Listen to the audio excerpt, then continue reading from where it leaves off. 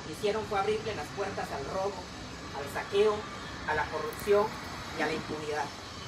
La desinformación es mucha y muchos de los que hoy reciben apoyos son víctimas de la manipulación mediática. Por ello, un grupo de ciudadanas y ciudadanos nos hemos dado a la tarea de conformar comités a lo largo y ancho de nuestro Estado para enfrentar esta desinformación mediática y poder llegar a la consulta para saber si Andrés Manuel López Obrador permanece en el cargo o se va. Nosotros luchamos por la ratificación del mandato. Este país lo construimos entre todas y todos. Y la inmensa mayoría apoya la gestión del presidente. Solo quien perdió privilegios está buscando descarrilar a México. Esta, esta acción la hemos denominado Comités Quintanarroenses en favor de la ratificación del mandato del presidente Andrés Manuel López Obrador y consiste en lo siguiente. Primero, constitución de un comité estatal que está integrado por mujeres y hombres de buenas costumbres que estén dispuestos a recorrer toda la geografía del estado de Quintana Roo, parte del cual somos los que estamos en esta mesa, y me permito mencionarla, y está mi compañera Giselle Castro, Marcial, eh, la licenciada Clara Emilia Díaz Aguilar, compañero Christopher Almaraz, nuestra amiga Alma Trejo y nuestra compañera eh, profesora Marbella Che. Consiste en lo siguiente, primero, Constitución de comités estatal, como le digo, que está integrado por partes de los que estamos en esta mesa.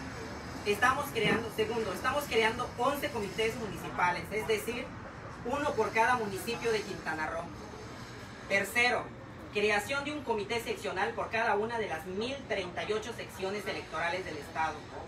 Cuarta, constitución de comités por grupos sociales, como son adultos mayores, mujeres, jóvenes, estudiantes, grupos vulnerables, diversidad sexual, grupos indígenas, etc.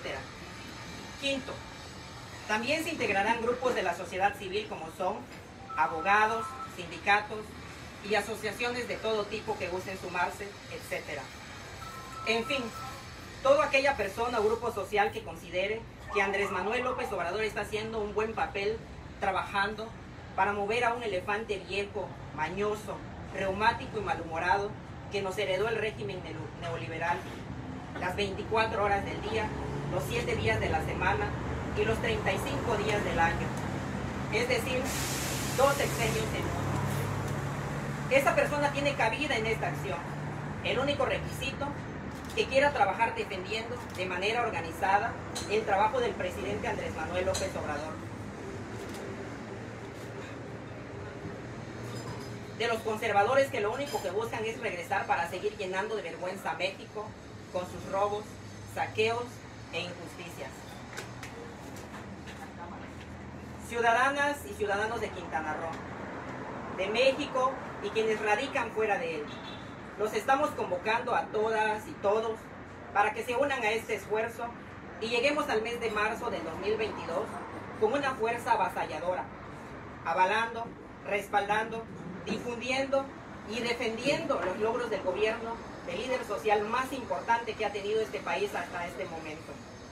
Somos una generación privilegiada por ser parte de un momento histórico, de un parteaguas en la construcción de un nuevo país, en la edificación de instituciones que nos llenan de mucho orgullo y no de vergüenza.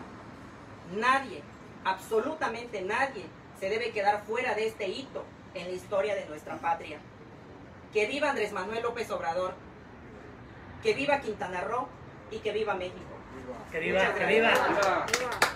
Bueno, pues esa es la conferencia de prensa donde les dan a conocer la integración de este comité quintanarroense aquí en Benito Juárez. Yo me despido de ustedes porque nos trasladamos al kilómetro cero donde va a haber la manifestación en el caso Hotel Río. Hasta la próxima.